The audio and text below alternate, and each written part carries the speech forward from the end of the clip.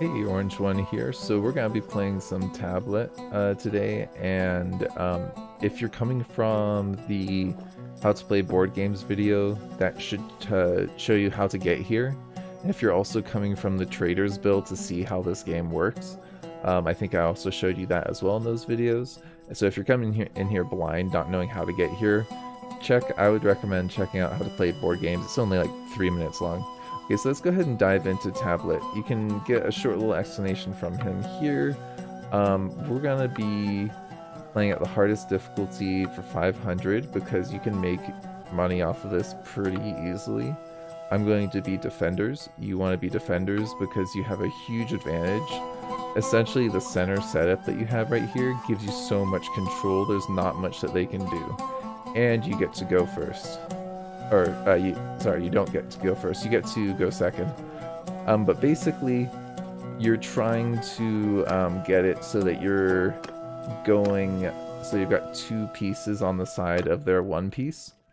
Um, so you can see like they're trying to move their piece to um, cancel out mine, but I can just kind of eat away at theirs.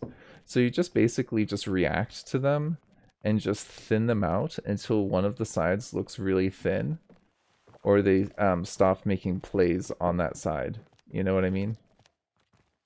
Okay, so let's see. Is there anything that they can get any of my guys with? Not really. I mean, why don't we just move you there, and then I can move you up next turn. Because they haven't got any other plays right now.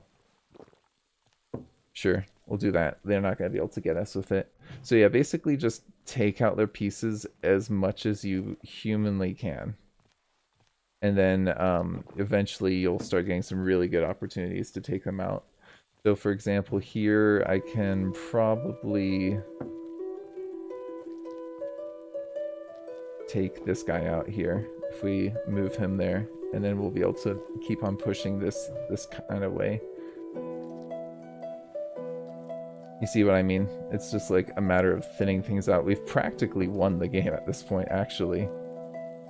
Because we just can't get the king to there. Oh, I just totally botched that. That was a terrible move.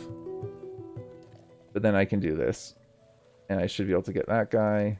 And then they're going to try and counter here, but that's fine. I think they've kind of realized that they've lost the game at this point. There's not much that they can do. Um,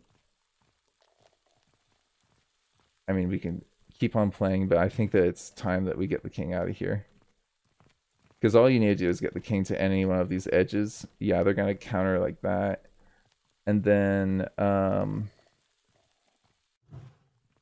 I might have just kind of botched things a little bit. If I want to move the king out, I can move him here, and they can they they can only block one of the directions. They can't block both of Avalon. Yay! Easy money, right? So yeah, just kind of thin them out. Work defensively. If you can't make a move, move back to those center pieces and um, push out as soon as you've got a dominance on one side, and they'll react, and you've got multiple paths open. It's it's pretty easy. Uh, thank you for joining me. This has been Orange One.